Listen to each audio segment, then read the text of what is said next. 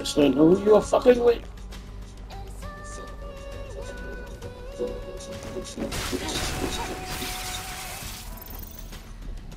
Tiba.